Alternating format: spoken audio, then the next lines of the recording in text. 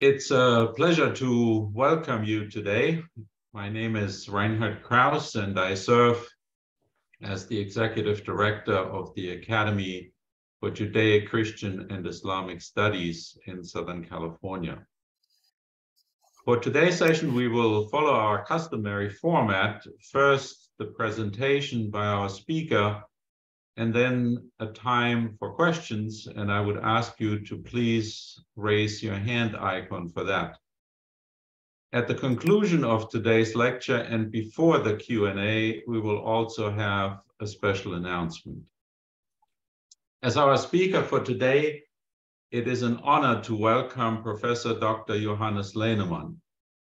Professor Lähnemann is the Emeritus Professor and Chair for Religious Education at the University of Erlangen-Nuremberg in Germany. His main areas of research are world religions in education and religion and peace education. Professor Lähnemann has been a key leader and contributor of Religions for Peace, an international movement headquartered in New York. Dr. Lähnemann served as chair of the Peace Education Standing Commission of the World Religions for Peace, and he is a member of the Roundtable of Religions in Germany. And in addition, the founder of the Nuremberg forums, which bring together theologians, religious scholars, educators, politicians, and cultural workers for education and cultural encounters. Among multiple international interreligious initiatives, he founded the Interdisciplinary Center for Islamic Religious Education, one of the first German training centers for Islamic religious education teachers and he undertook a research project entitled The Representation of Christianity in School Books in Islamic Countries. Professor Lähnemann's outstanding contribution to peace and interreligious relations worldwide has been recognized with numerous national and international awards, among them the Bundesverdienstkreuz or Cross of Merit of the Federal Republic of Germany the Muhammad Nafi Tschelebi Prize, the Hoffman Science Prize for Intercultural Competence from the University of Vechta, and the Intra Project Prize for Complementarity of Religions in 2014. Professor Lähnemann, it is a great honor to welcome you to the Oxford Interfaith Forum today. And I understand that usually in Religions for Peace forums, you are announced in a special way, and your daughter will give us the pleasure to do that, and then the floor is yours.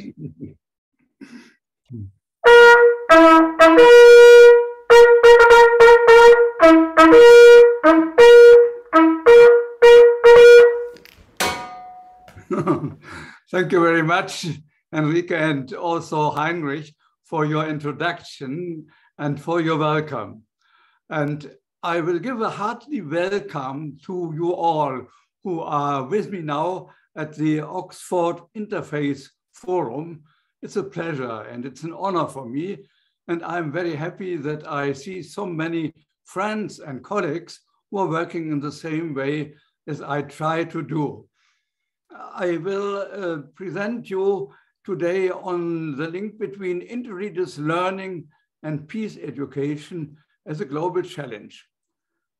No peace among nations and religions without interreligious learning and peace education, the endeavors of religions for peace. How did I come to this topic? It was in the 70s of the last century, exactly 50 years ago. I had completed my doctorate in New Testament studies on the letter of St. Paul to the Colossians and was a long lecturer at the University of Münster. Then students asked me, how can we represent the Christian faith in the face of the challenges posed by the world religions? When I moved to the Teacher Training Academy at Lüneburg, I taught a seminar on non-Christian religions in religious education focusing on Islam. We visited a mosque in Hamburg, which was quite unusual at that time. When I subsequently worked as sabbatical cover for a professor in Berlin, I quickly had to turn the seminar into a lecture. And in the years that follows, I wrote my second book, The German Habilitation, based on this.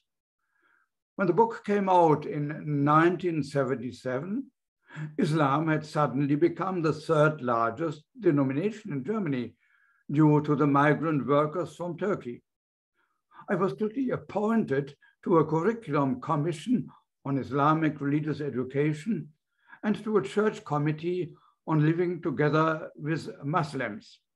You can see on the left, uh, first textbook we have brought out. It was in Turkish, but with uh, uh, German subtitles. And it was read in Egypt and in other countries as well.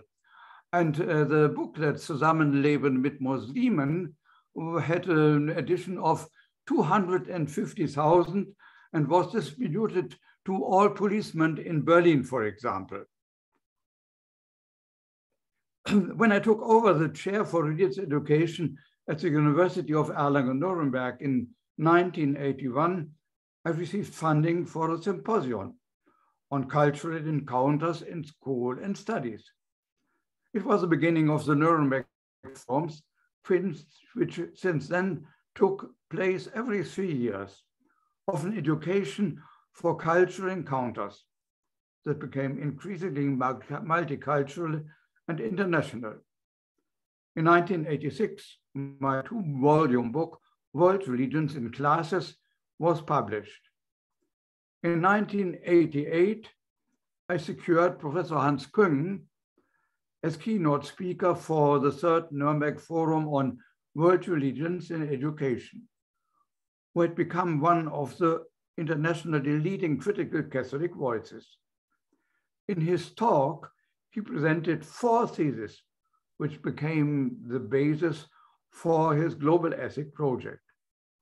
Now, peace among the nations without peace among the religions, no peace among the religions without dialogue between the religions, no dialogue between the religions without global ethical standards, no survival of our globe without a global ethic. I added the fifth thesis. No peace among the religions without interreligious learning and peace education. In the same year, my activities for the World Conference on Religion for Peace, so he's, it was the first name of Religions for Peace, which was used, um, began. I founded a local group in Nuremberg and attended the first, the first time a World Assembly in Melbourne, Australia in early 1989. There I had to lead a working group on peace education in and with religions under the overall title Building Peace Through Trust. In the years that followed, I assisted Hans Küng in formulating a declaration towards a global ethic. In 1993, this declaration was adopted at the so-called Second Par World Parliament of Religions, signed by 200 religious leaders, among them, for example, the Dalai Lama.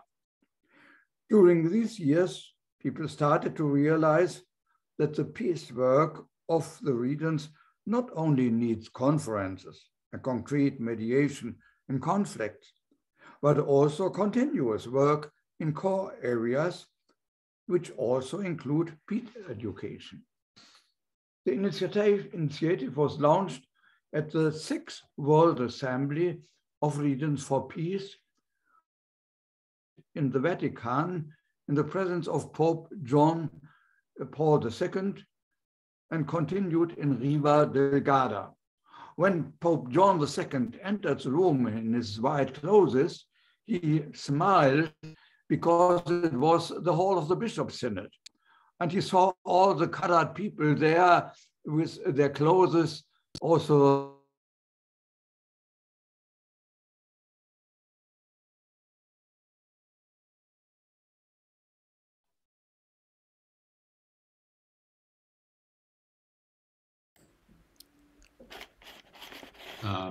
Should I continue reading um, uh, uh, while my father gets back? Um, that would be Yeah. wonderful. During these years, the realization grew that the peace work of the religions not only needs conference and concrete mediation conflicts, but also continuous work. The initiative was launched at the Sixth World Assembly of Religions for Peace, which was open in the Vatican in the presence of Pope John.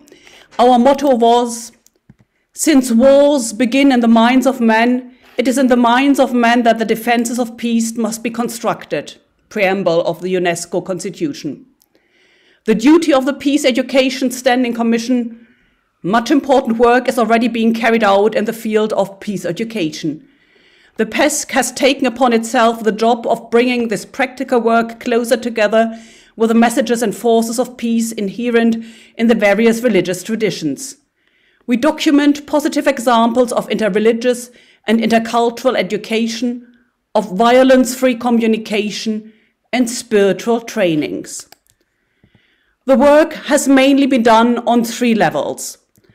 At the Nuremberg Forums for Interreligious and Inter- Intercultural Education, through brochures with documentation and systematic presentation of interreligious and intercultural peace education projects, in commission work during World Assemblies and European Assemblies of Religions for Peace. To illustrate uh, the work, I will give some examples. In 1999, the Seventh World Assembly of Religions for Peace was held in Amman, Jordan, opened by King Abdullah II and Prince Hassan, who is continuously working with peace initiatives in the Middle East. During a pre conference on peace education, which we had at the Schneller School, Amman, where children from poor families, Christian and Muslims together, are trained, among other projects, a book of Rabbi Bugot was presented with pictures of children showing their dreams and hopes of peace in three languages Hebra- uh, Hebrew, Arabic, and English. Shalom, salam, peace. The specific educational contribution of the regions is twofold inward and outward. Through an inner renewal of their spiritual resources and motivations, religions can show ways leading towards peace and reconciliation, and they can improve the sense of responsibility for social justice and the integrity of creation. Looking outward to the wider community, religions have to create an open atmosphere for real encounter and cooperation between different religious and also non-religious persons and organizations. They should devote care to obtaining and spreading an authentic understanding of the faith of the others and also articulating their own belief to members of other religions and worldviews in a respectful way and at the same time refusing all kinds of proselytizing. Lively interreligious contact and dialogue are increasingly essential not only for peace education, but for the religions themselves. During the first decades of the new millennium, a number of publications of the Peace Education Standing Commission have come out. First, Peace Education from Faith Traditions, 2001. Second, a Soul for Education projects for spiritual and ethical learning across religions. Third, presentation, preservation, development, reconciliation, religious education and global responsibility. Fourth, interreligious and values education in Europe, map and handbook. Fifth, media power and religions, the challenge facing intercultural dialogue and learning. The role of interreligious education in overcoming fear and building trust. Then human rights and religious education in educational context. And last, public theology, religious diversity, and interreligious learning. The titles clearly show the breadth of the topics we have worked on. Briefly, on the first publication. The United Nations had declared 2001 as year of the dialogue among civilizations, of the dialogue of cultures. In February of that year, they set a signal with a conference on peace education based on religions. MSF was able to bring in an initial assessment on the, of the Peace Education Standing Commission, which was entitled Peace Education from Faith Traditions. It contains basic insights and examples of interreligious education, education for non-violent communication, and conflict solution, as well as for religious and environmental education.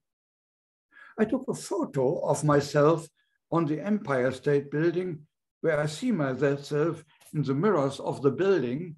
And in the background, you can see the twin towers um, of the World Trade Center, which were destroyed on September 11th by the terrorist flights through which they were brought down. This shows the whole ambivalence of this year, which has only made our work more urgent. And we have to live with this ambivalence till today. Our next brochure has the title A Soul for Education.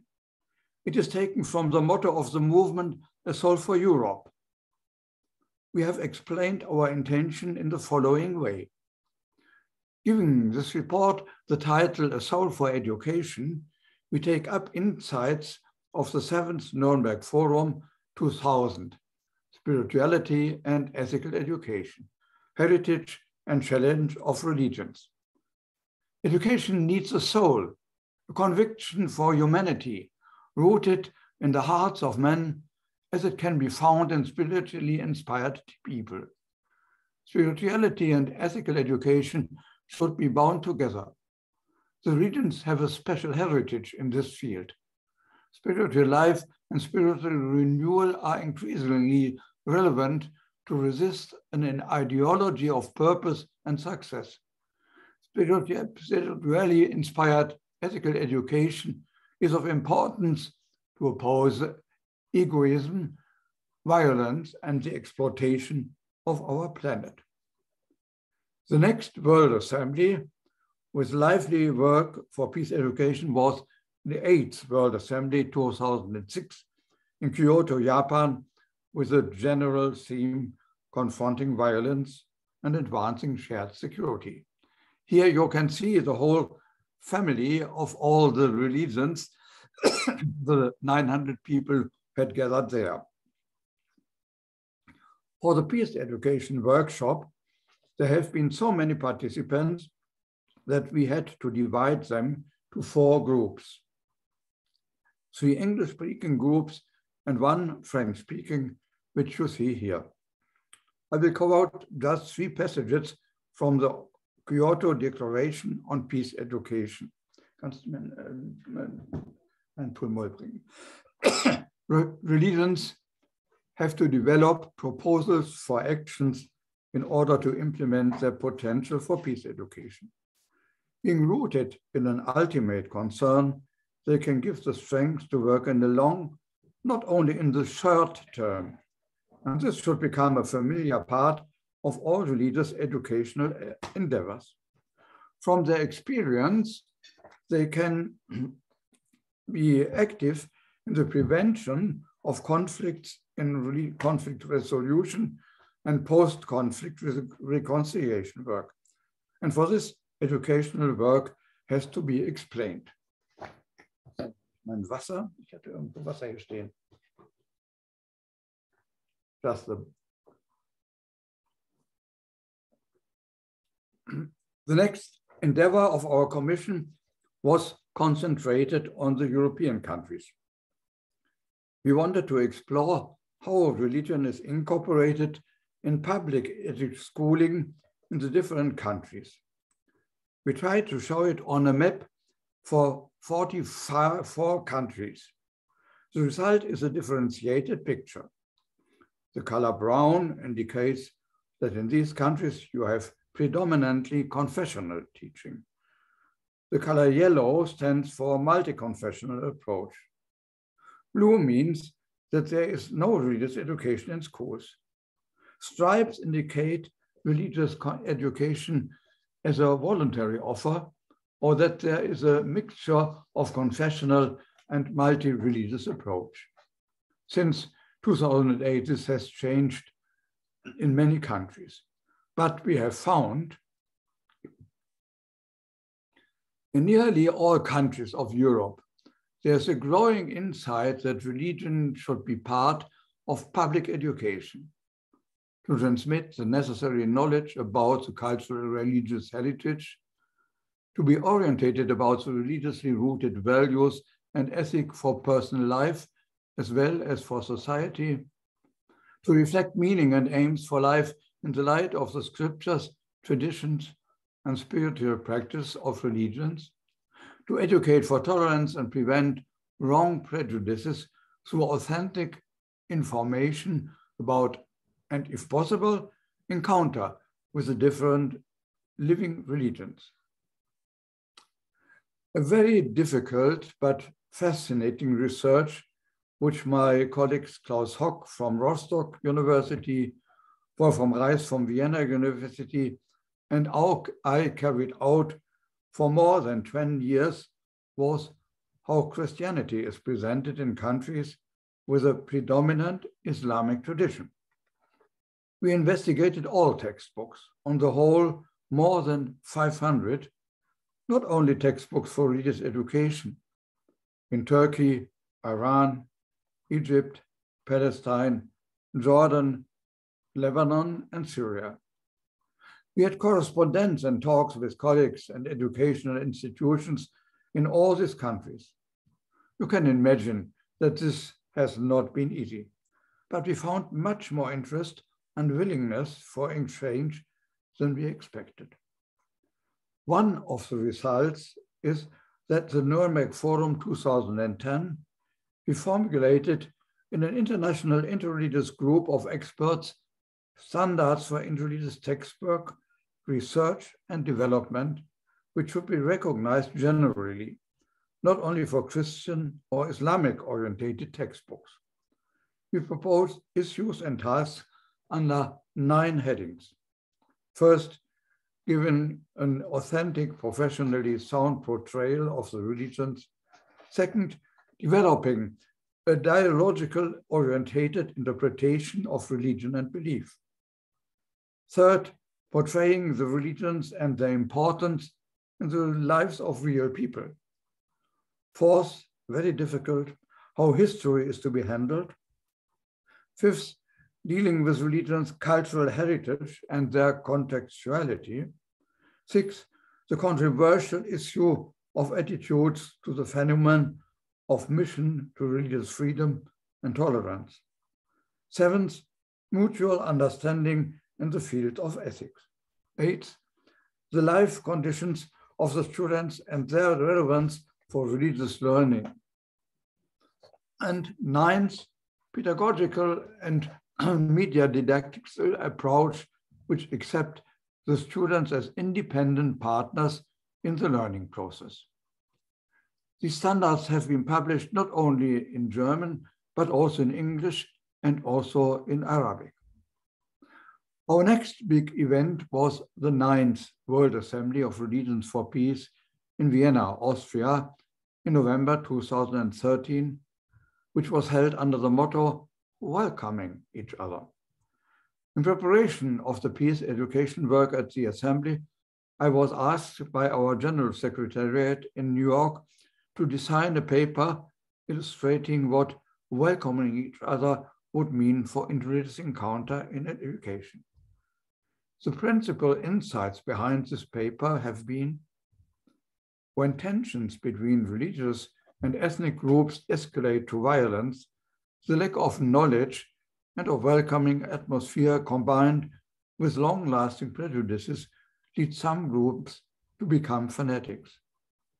Education can break down ignorance and prejudices, and in doing so, counter animosities and enmities between different cultural and religious groups. We worked intensely with educators from all continents. It was possible for me to present some core results of the plenary for more than 900 delegates. I quote a passage of our final report, welcoming the other through religious and multi-religious education. Being committed to non-violence and respect for life, to solidarity and a just economic order, to tolerance and to a life of truthfulness, and to equal rights and partnership between men and women, according to the four irrevocable directives of the Declaration towards the Global Ethic, these convictions are common in different religious traditions and still often wait for realization in the religious communities themselves. This means that religions have unique treasures to contribute to society that they could use in corporations with one another and with all people of goodwill, rather than viewing other religious communities and worldviews as enemies or competitors.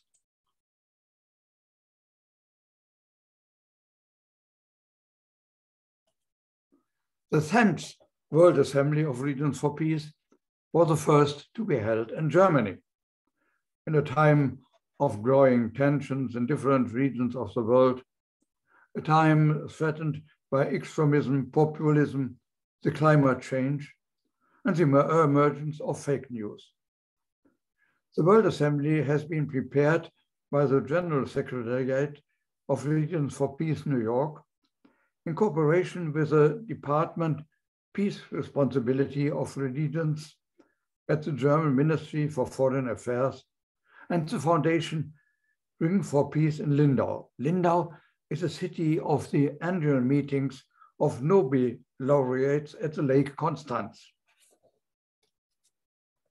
900 delegates from 125 countries and seven different religions came together in the little town in South Germany from the 20th to the 23rd August 2019.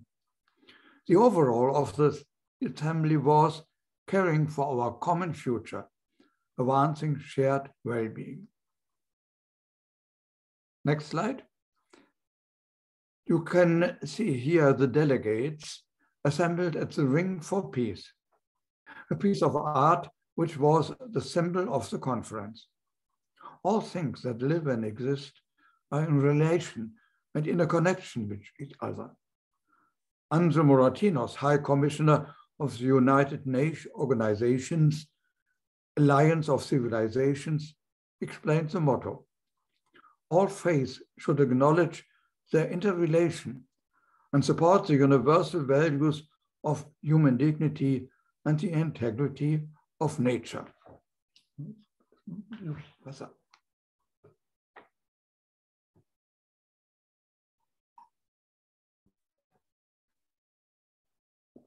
The Assembly worked in five commissions. A multi-religious vision of peace, preventing and transforming violent conflicts, promoting just and harmonious societies, advancing sustainable and integral human development, protecting the earth. The task of peace education has been treated in Commission 3 under the subtitle Religious Values and Peace Education, a Practical Approach. The working group gathered with activists in the field of religious and interreligious education from 10 countries and different religious and educational contexts in America, North and South, Africa, Asia, and Europe, against the backdrop of the experience that in many social, cultural, and religious contexts, the decline of values can be found as a source of conflict, intolerance, and misbehavior. Education, on the other hand, is one of the most important factors for breaking down ignorance and prejudices, which are the dangerous precondition for violent conflict. Under the text, you can see uh, another text, a passage of the Assembly uh, finally, final declaration, where it was underlined that we commit to preventing violent conflict by advancing peace education from early childhood to adult across all our religious communities, focusing on shared values, religious literacy, and narratives of peace. Yeah, so next. Our fundamental conviction was religions have each in a specific way the belief in the fundamental unity of mankind and of the interrelationship of all living and existing beings. Love, compassion, tolerance, ability to forgive, truthfulness, hope are values which cannot be imposed by law, but which are inherent in religious traditions and are necessary for all real well-being in society. they can be experienced and trained with young people in religious communities and in cooperation with public education in schools and in other educational areas. We have listed a number of practical examples of best practice, first from Europe, then also from other continents. Of course, this list is not complete. It just illustrates the wide range of areas in which interreligious peace education is carried on. First, international work in the European context. Interreligious educational work of the Global Ethic Foundation in Tübingen. The Berghof Foundation Institute for Peace Education working in Europe as well as in Africa. Then the interreligious textbook development the research project about which I explained the main standards. Then, very important, the REDCO, Religion Education, a contribution to dialogue or factor of conflict in transforming societies of European countries. Research in 10 European countries with many interviews with young people. But then initiatives also in other continents than Europe. I first name the very famous and important Adyan Foundation, which works on interreligious understanding and solidarity through cross-cultural education, working, for example, with students of Israel, of Lebanon, of Poland, of Germany, and uh, is uh, situated in Beirut in Lebanon. And then uh, the educational work of the Interreligious Coordinating Council in Israel in exchange with the Arab Educational Institute in Bethlehem. Another example is the Spirit in Education movement in Thailand, founded by Sulak Sivaraksa. Family education in the communities of the Kai religion, uh, modern Buddhist religion in Japan, which supports uh, Religions for Peace very much. And at last example, the Latin American introduced network of peace education, RELAP. After the World Assembly in Lindau, a plan for the work of Religions for Peace for the years 2020 until 2025 has been elaborated, in which strengthening interreligious education is one of the strategic goals establishing standing commissions corresponding to strategic goals, promote peace, just and inclusive societies, advance gender equality, nurture a sustainable environment, champion freedom of thought, conscience, and religion, strengthen interreligious education, foster multi-religious collaboration and global partnership. Each of the goals advances Religions for Peace's multi-religious vision of peace, built on Religions for Peace past work, and align with one or more of the sustainable development goals which were mm, brought out by the United Nations. In our commission, we work together with educational experts of different faiths and from different countries ranging from the Philippines over the Middle East, to Europe and North America. Each of our Zoom meetings is an adventure around the globe. You see here on the left, uh, Azza Karam, our uh, General Secretary, who gave a wonderful address at the Global uh, Assembly of the Ecumenical Council of Churches in August last year in Germany. and she is doing a very, very uh, wonderful job. And uh, our commission is led by Dr. Karen Leslie, Karen Hernandez, which is also the editor of our first publication. In the Zoom meetings, we have at first asked for theological and spiritual, which inspire and encourage us for the necessary learning processes. We have in our first publication the title Faithful Peace, Why the Journey to Build Resilience is Multi-Religious. Azza Karam, General Secretary of our organization, characterizes it as a bird's eye. The commission members share the rich and specific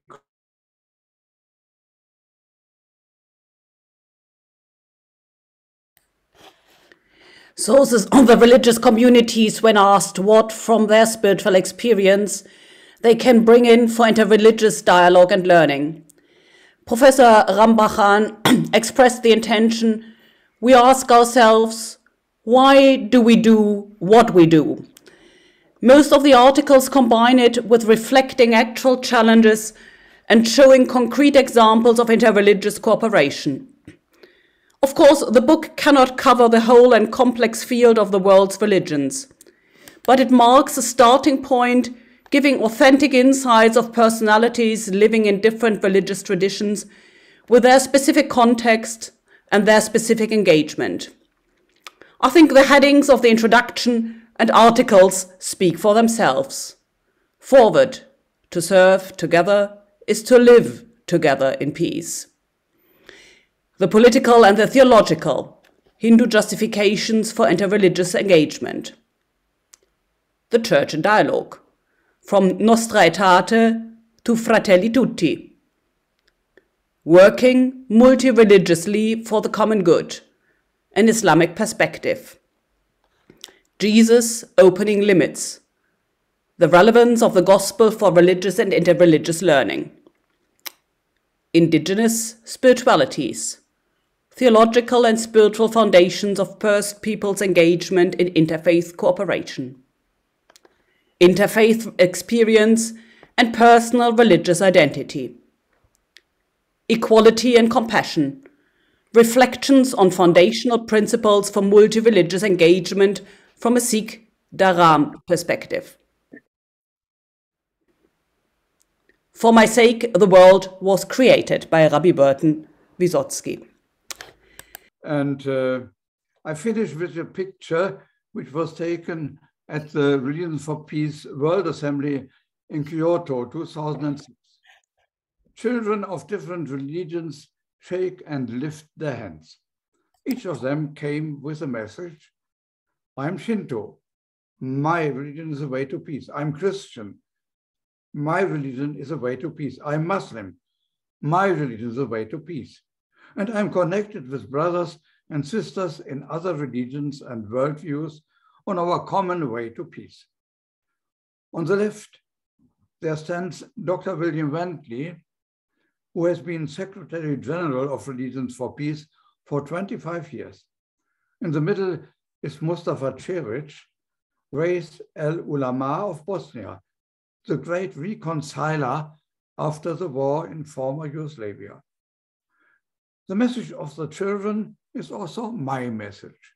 As teacher, as theologian, and as permanent learner. Thank you very much for listening to me.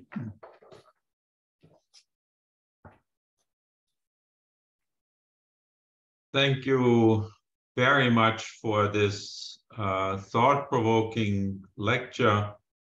Uh, I also particularly like the intergenerational handoff to deal uh, with our uh, technical difficulties between Professor Lähnemann and uh, his daughter. So thank you very much. I'm sure uh, we have many questions, but before we get to those in a minute, I would like to make a special announcement, as I mentioned in the introduction. It is my great pleasure to announce the establishment of the annual Lähnemann Interreligious Peacebuilding Education Lecture. Wonderful. So, although you are not aware of it, you have just had the pleasure to hear the first annual Lähnemann Interreligious Peacebuilding Education Lectures. Let me begin with the question. Um, you indicated that Religions for Peace works on a global level in many different countries, but you also indicated that you have a local group in Nuremberg, where you are, um, that deals with uh, regional and local interfaith connections. And I wonder uh, whether you could talk a little bit about the relationship on the different levels global, national, very local, um, and their relative importance. Yes, um, one of the special characteristic of Religions for Peace is that it uh, always tries to combine these different levels. That means, for example, that in my monthly letters I am sending to uh, 240 friends of Religions for Peace in my city of Nuremberg, I always also inform about the international way. And uh, we always try also to bring them in contact with each other. Because uh, you see, uh, I say we have, especially on the regional and local level, the three steps of encounter, dialogue, and cooperation. And you see, uh, in the local groups, there is quite a mirror of what is worldwide going on. Each of the members of our Nuremberg group has brothers or sisters in other countries who, in a minority situation, are under pressure and in danger. And we try also to give some help just for, for these groups. So this is in that way interconnected. Thank you very much. As our session is drawing to a close, I would like to thank you again for a fascinating lecture. You have given us much food for thought and perhaps even more food and material for concrete action to reach out to our uh, fellow practitioners from other religions. Uh, so thank you very much. So very much, uh, Tia and also Heinrich and also Henrike and also to all who have participated uh, in this hour. It was a pleasure for me to explain just uh, these items and I wish you all the best for the next time.